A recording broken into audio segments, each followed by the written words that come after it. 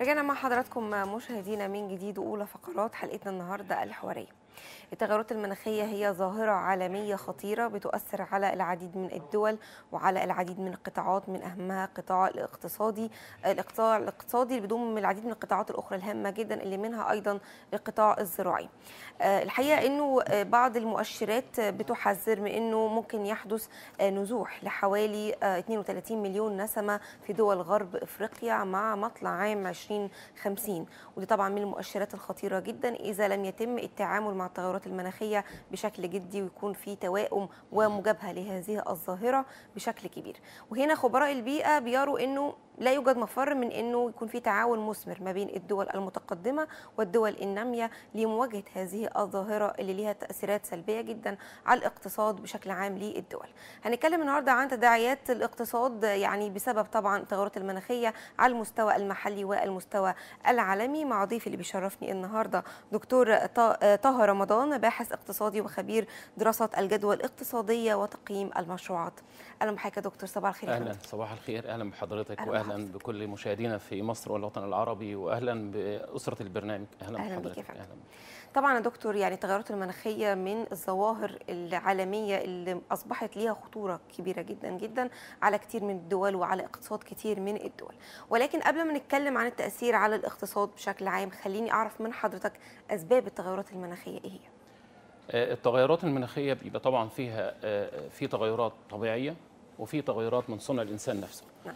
وطبعا مع مرور الوقت أو مع مرور الزمن بيحصل تغير بسبب الاحتباس الحراري وبسبب ارتفاع الانبعاثات وثاني أكسيد الكربون والغازات الأخرى الملوثة للبيئة. ودي بينتج عنها ارتفاع في درجات الحرارة غير غير الحرارة الطبيعية بتاع الأرض أو غير الحرارة الطبيعية كل موقع. وده وبينتج عنها أيضا ارتفاع في في مستوى المياه في البحر وارتفاع مستوى التبخر. كل دي مشاكل بينتج عنها سلبيات كثيره اقتصادية. والسلبيات دي أو هذه المشاكل بالتحديد بتختلف من قطر الآخر من دولة لأخرى حتى داخل الدولة نفسها. إحنا هنا ممكن نلاقي درجة الحرارة في القاهرة رقم صحيح. وفي الصعيد رقم صحيح. وفي وجه بحري رقم. وممكن نلاقي حتى نوع الزراعات وجه بحري بيزرع زراعات معينة وجه إبلي بيزرع زراعات أخرى. القريب من خط الاستواء بيزرع زراعات معينة. طبقا للمناخ في آه كل طبقا للمناخ. يجي المناخ ده يتغير. فبيحصل هنا عملية خلل في الإنتاج الزراعي نفسه وبيحصل مشاكل وبيحصل تلوث. طبعا التلوث اوضاعه كتيرة جدا. حرق المخلفات الزراعية بيعمل تلوث قطع الغابات بيعمل تلوث. المخلفات من كل المحركات اللي بتستخدم الغازات وتستخدم النفط أو بتستخدم الفحم كل ده بينتج عنه تلوث. نسبة ارتفاع عدد السيارات بيتقابل طرديا مع ارتفاع نسبة التلوث. فطبعا مشاكل التلوث كبيرة جدا منها مشاكل أيضا في المخلفات ومشاكل التعامل عدم ثقافة الإنسان برضه بتؤدي إلى ارتفاع حدة التلوث. فالتلوث يعني مجالاته عديدة وقطاعاته كثيره جدا.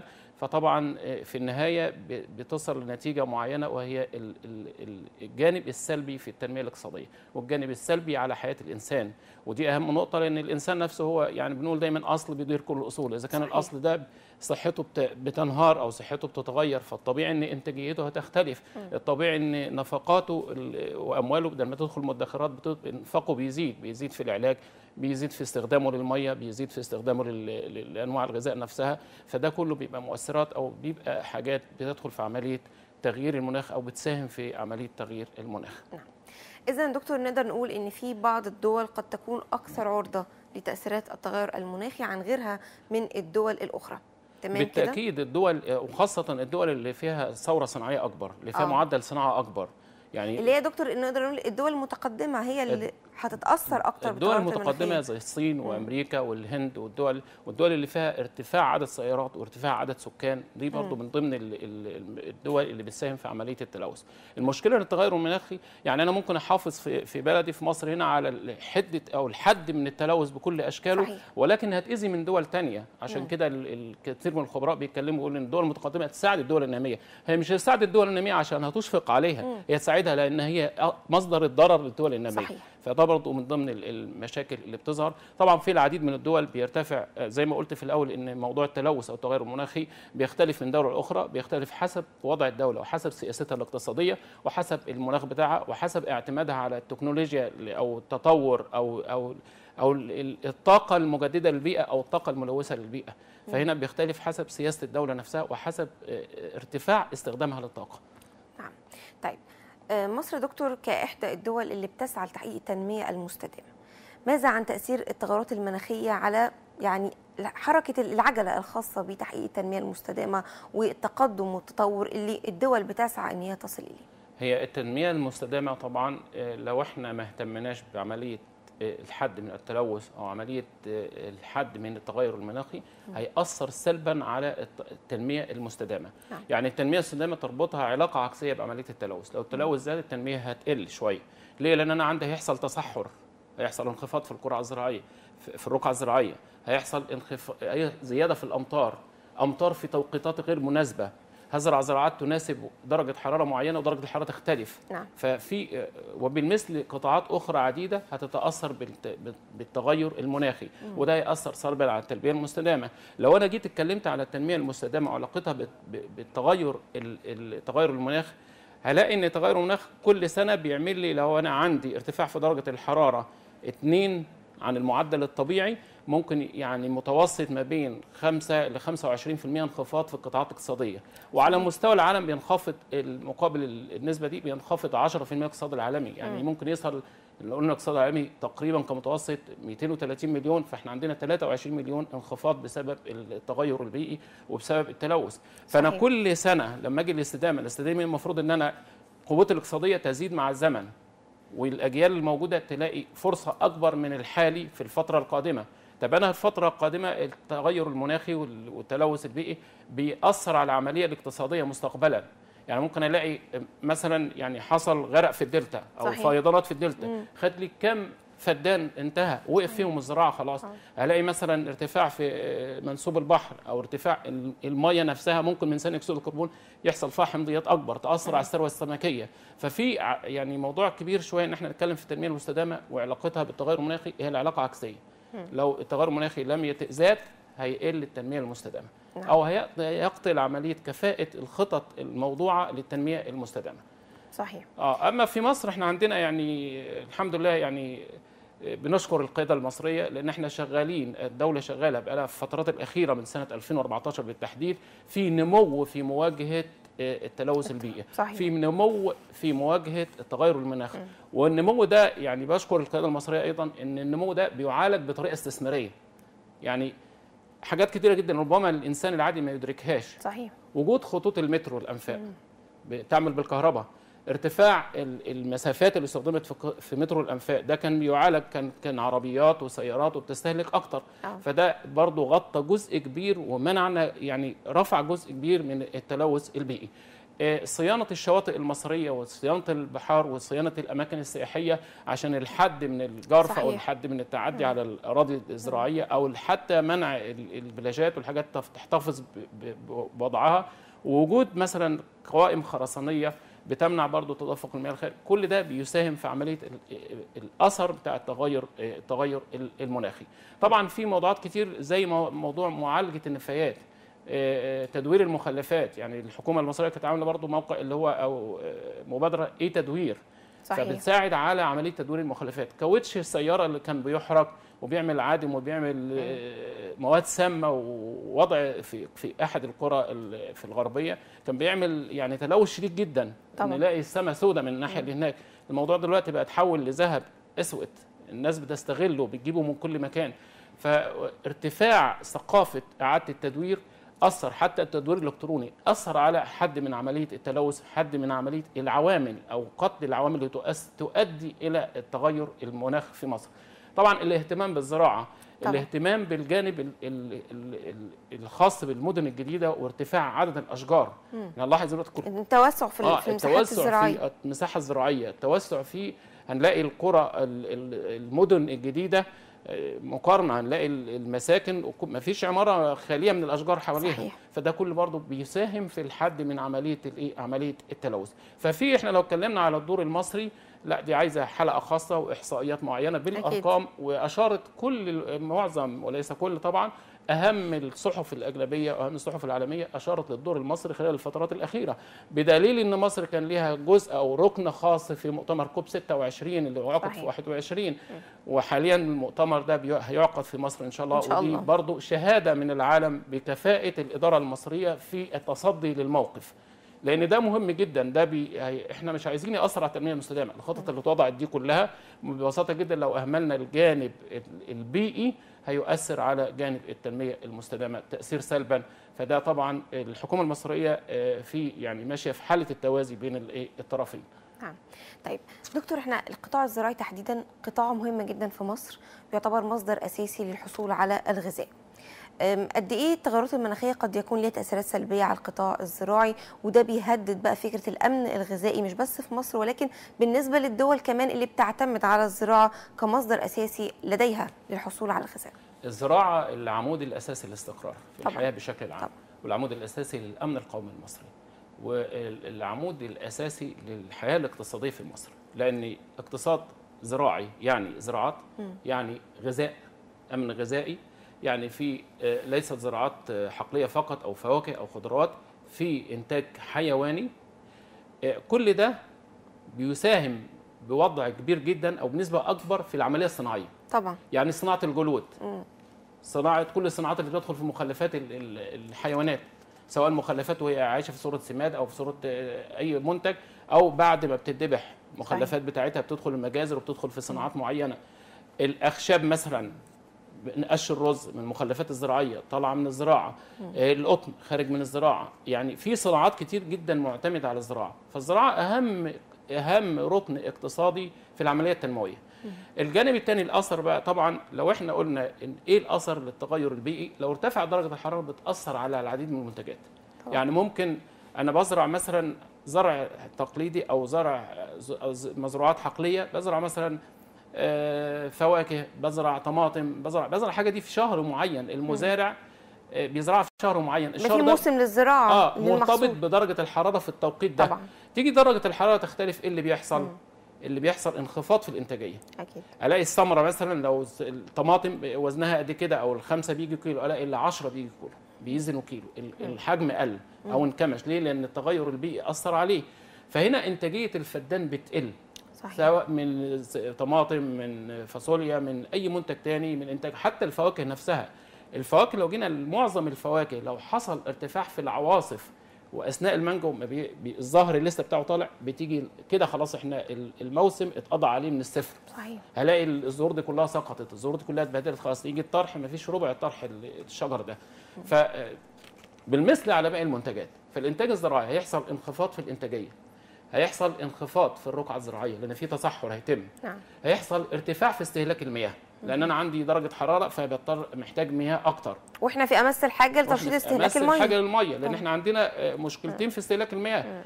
بنوسع في الرقعة الزراعية فعايزين ميه أكتر. نعم. فيجي التلوث أو الجانب المناخي يتغير عايزين استهلاك ميه أكتر للي إحنا وسعناه كمان. أكيد. فأنا عندي هنا حصل عملية آه، اتجاهين زيادة عن الوضع الطبيعي للإيه؟ للميه طيب أنا حصل عندي انخفاض في الجانب الإنتاج الزراعي. هنا برضو في مشكلة تانية ودي ممكن نبص لها بصة صغيرة جدا الأسر المصرية اللي عنده طبعا. فدان واثنين وثلاثه على قد البيت. صحيح. الإنتاج قل ما بقاش يكافئ نفقات الأسرة. فبيحصل إن لو في الأب ومعاه فردين من الأسرة بيشتغلوا معاه لا واحد هيقعد والباقي يسافر. فهنا برضو ده عامل مهم من عوامل الهجرة أو الخروج أو, أو نحصل الطرد. يعني حالة من العزوف عن العمل الزراعي العزوف والجانب الثاني بدل ما في تشجيع على التنميه الزراعيه تبدأ يحصل تقاعس أو أو إحباط من عملية الاستثمار الزراعي على المستوى الصغير.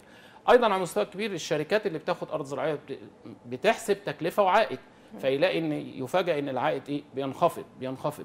حتى عشان اكد كلامي ده لو جينا للأجداد والناس الكبار اللي بيشتغلوا في الزراعة من فترات سابقة يقول إيه؟ هو بيتكلم في ناحية عقائدية عنده بس هو مش فاهم الأثر اللي إحنا فيه. هو بيقول إن البركة قلت.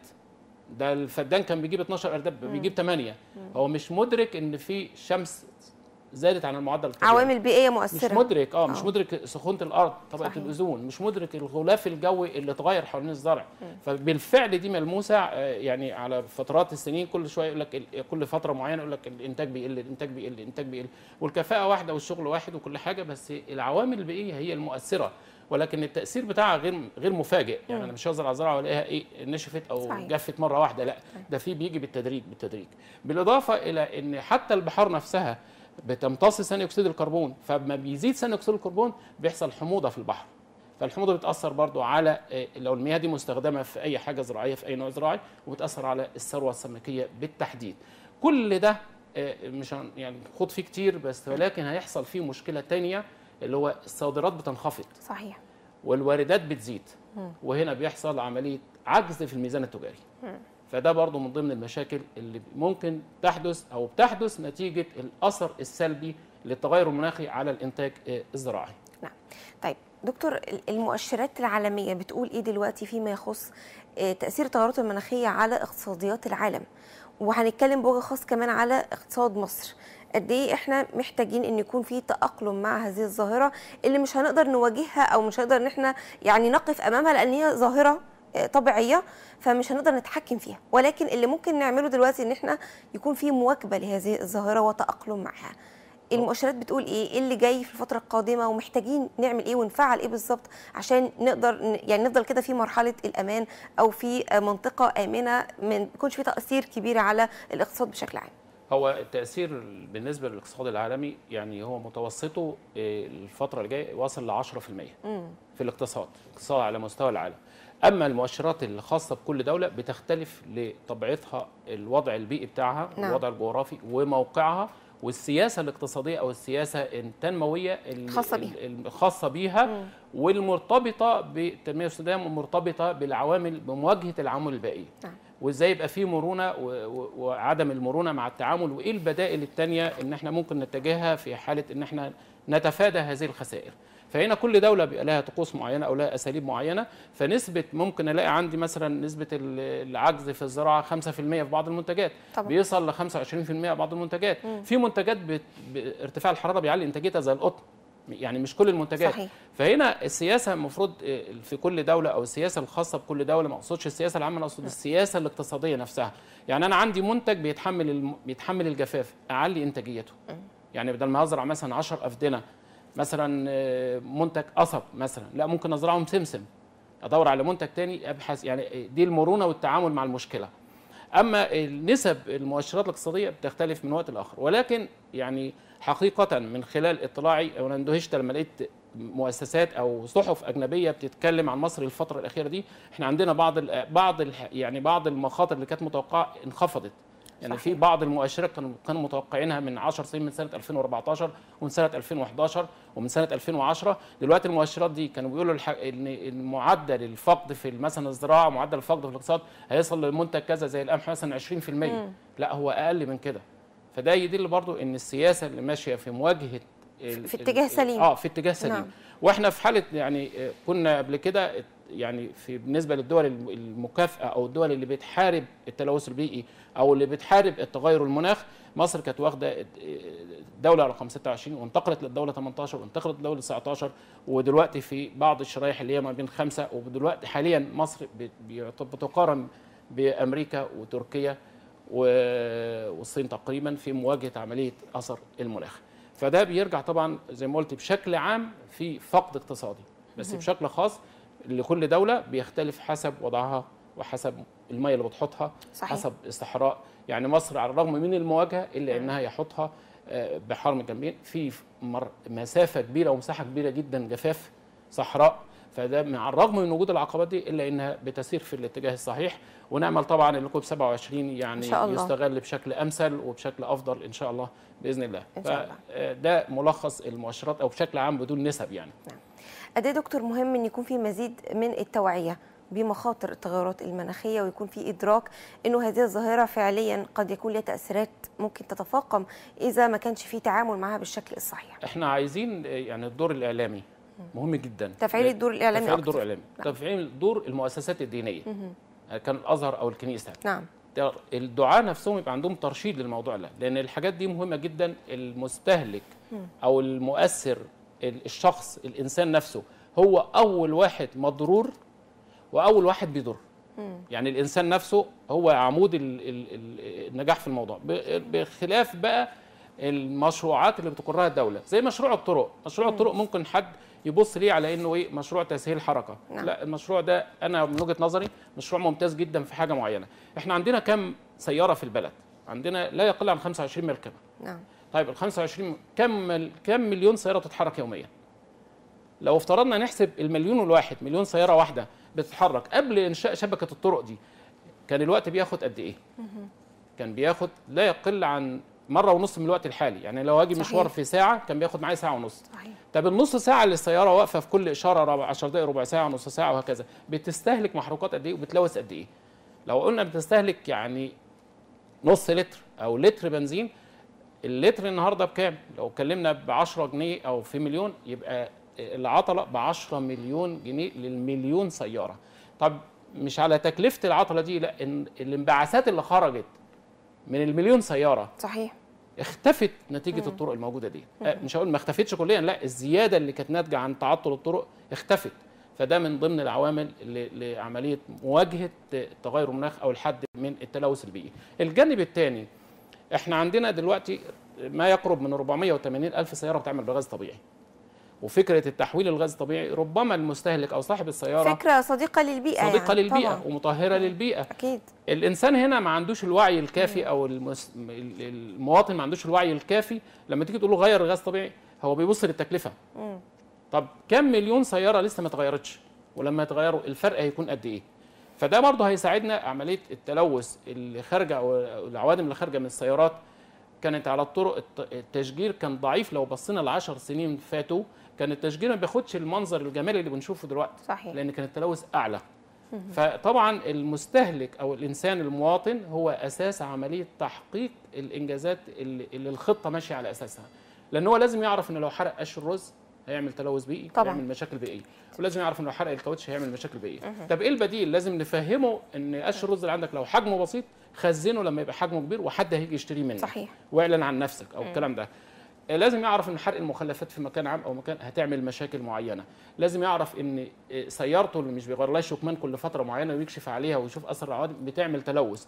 فالإنسان هو الحلقة المهمة في الموضوع لأن أساس عملية التنمية المواجهة أو التنمية المستدامة اللي مكافئة مع تغير المناخ هي في الأساس بتهدف لخدمة الإنسان. صحيح.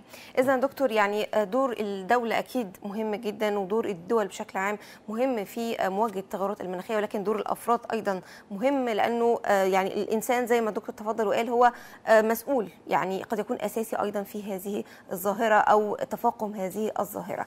محتاجين يكون في مزيد من الوعي مزيد من الإدراك لمخاطر ظاهرة التغيرات المناخية يكون في تكاتف ما بين الدول بعضها البعض يكون في دعم من الدول المتقدمة للدول النامية بما إن هي أيضا من الأسباب الأولى لهذه الظاهرة بسبب التلوث يعني الناتج عن الصناعات والاستخدام طبعا الملوثات المتعددة. وبالتالي محتاجين يكون في تفعيل لهذا الدور الهام جدا بين الدول بعضها البعض للتصدي لهذه الظاهرة. بشكر حضرتك جزيلا يا فندم على وجودك النهارده معايا. شرفتني ونورتني شكراً دكتور طه رمضان. لأسرة القناة وشكرا لكل الوطن العربي وشكرا لبلدنا الحبيبة مصر. شكرا جزيلا دكتور طه رمضان باحث اقتصادي وخبير دراسات الجدوى الاقتصادية وتقييم المشروعات.